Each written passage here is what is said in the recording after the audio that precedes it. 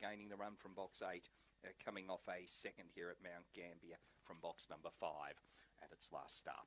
Now they're all set. This is race number one, first of 12 here at Mount Gambier this afternoon. Ready, set, and away. Sienna Bay best to begin down on the inside. Seastorm Bay to a clear second. Then came over on the outside Midnight Bear, but uh, checked back through the field. Uh, racing up to third now is Tough Talk. There followed by Zambora Ebony. Further back then Dominant Bear and checking back to last of all was Midnight Bear. Off the back and Sienna Bay's clear. In second placing came Seastorm Bay down the outside Tough Talk, but Sienna Bay gets home by three on the line. Tough Talk second. Third went to Seastorm Bay. Uh, then in behind them to uh, pull up there would have been a dominant bear, Midnight Bear, Zambora Ebony. Sienna Bay takes out the first for trainer Andrew Graham. Number one, Sienna Bay, best to begin by far, and uh, was never headed from that point onward.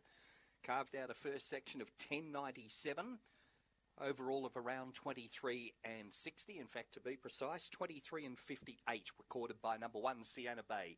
Taking out the first over four, Tough Talk. Number two gets third, Seastorm Bay, and officially fourth in has gone to number seven, Dominant Bear. One, four, two, and seven. 23.58 the race time recorded by the winner, number one, Sienna Bay. This greyhound uh, having its fifth career start today now makes it a win.